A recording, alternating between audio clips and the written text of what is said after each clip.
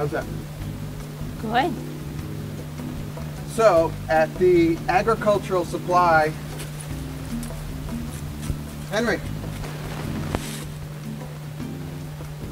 at the uh, at the agricultural supply store down in the town next to us here, they had a sale on cast iron. So they had this whole box of cast iron cookware for 50 bucks. So I really couldn't pass that up because uh, I like cooking with cast iron. But I think a lot of people are either they don't know enough about it or they don't know how to season the cast iron properly or how to take care of it. So today we're going to take our brand new cast iron and season it and you'll learn about how to cook with it. And um, we'll watch Henry chew this. Up here, up, up, up, up, up. So we've opened up our box of cast iron. There's a ton of stuff in here. Um, I've got a griddle, fry pan, a saucepan, and a Dutch oven. I already have one Dutch oven, but this one's kind of neat in that it has a concave lid, which means that you can put this one in like a fireplace or a wood wood fire or a charcoal fire for that matter, and then stack additional coals on the top of the lid here. So you know you could dump some charcoal on there and you could bake bread or a stew or whatever. So you mean you like bury it? You could bury it in the fire, yeah. And then you've got the lid here and then you've got this gizmo here to pull it back out. Well, that's not the perfect world, but what do you want for $50 for cast iron? Uh, let me show you, I already, I have a griddle like this already that I've had for a couple of years. And this is what the seasoned cast iron looks like, as opposed to... It looks dirty. So this is a seasoned griddle that I've had for a couple of years, and this is the brand new griddle here. You can see here, this is really nice and smooth. What seasoning does is it fills out the high and the low spots of the grill, and the oil basically gets absorbed by the steel, and it creates a non-stick surface. So this is, is really quite good. When you're using cast iron, you basically, you, you oil it, you cook your food, and then when you're done, you just wash it down with some water and uh, like a, a, sponge or a nylon scrubby. You can use a tiny, tiny bit of soap if you want. Um, it just depends on how much crud is on there. If it's seasoned well, the stuff should come right off. The first thing you want to do when you're going to start seasoning is you have to preheat your oven here. I turn on the oven to about 300 degrees. Okay, that's on. This is my Dutch oven that I've had for a couple of years.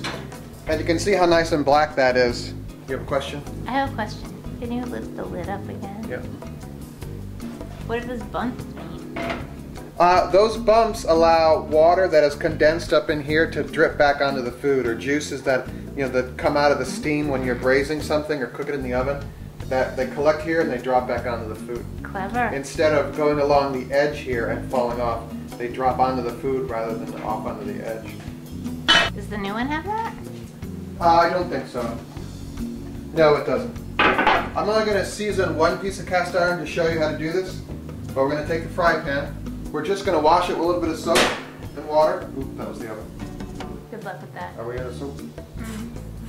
If you open the lid, if you open the lid. So just wash this off. You, do, you basically just want to get off, you know, it's been in a factory being manufactured, so in case there's any oils or stuff on it. Oh, I hear the washing machine. we'll save that for another day. Yeah, the washing machine episode is coming. Eh. and the washing machine's preparing for takeoff.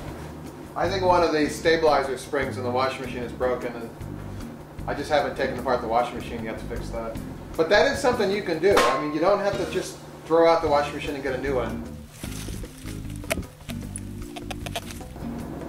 When you're going to season cast iron, you want to use some vegetable shortening and have some paper towels maybe. You know, everyone's got an opinion on how to season cast iron. This is how I do it. Um, some of your friends may have a different opinion about this.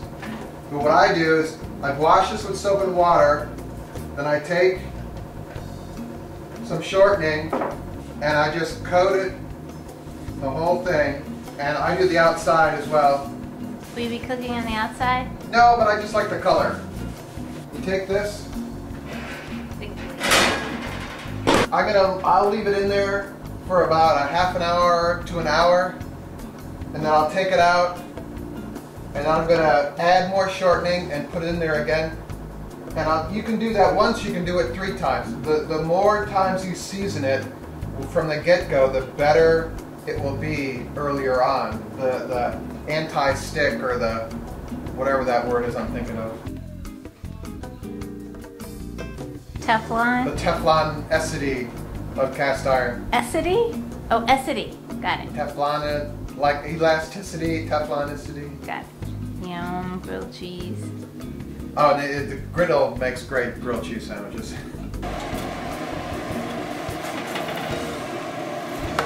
anyway, the more you season it, you know, if you do it two or three times, it'll be quite fine. Couple of things about cast iron. You don't want to store food in cast iron. There's a light blinking. It's the tape light. Okay, when you're done baking everything in your oven, it, it looks like this. It's not going to be completely black, it's, it's, but it's going to start to get darker. When you bake this in the oven, it's going to smoke. So you either want to turn on the range hood or open up the windows. You can even do this on a gas grill outside, even it's the middle of the winter. You just put the, close the lid, put them in, turn up the heat all the way, and let them cook, and then come back and rebaste them a couple times with oil. To clean them, it's really simple. You just basically put your griddle or put your cast iron in your sink. I use a copper scrubbing pad with no soap on it. If you've got something that's really stuck, some people use salt because it's like an abrasive. You can use this to cut the dirt off. Or there are some people, and I think this is totally fine, use a tiny, tiny bit of soap. It's like this griddle, it has just, a, it has some grease stuck in the corners and a little bit of soap, it'll cut it right out.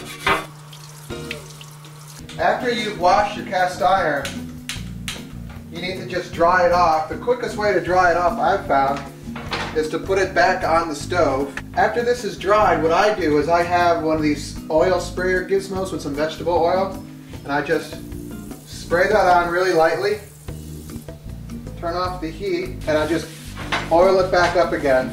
Since the griddle is hot, the cast iron is hot, the oil sinks into the pores. Let it cool off, and then put it away. Internet celebrity sneezes. Yeah, internet celebrity sneeze. Put, put that on YouTube.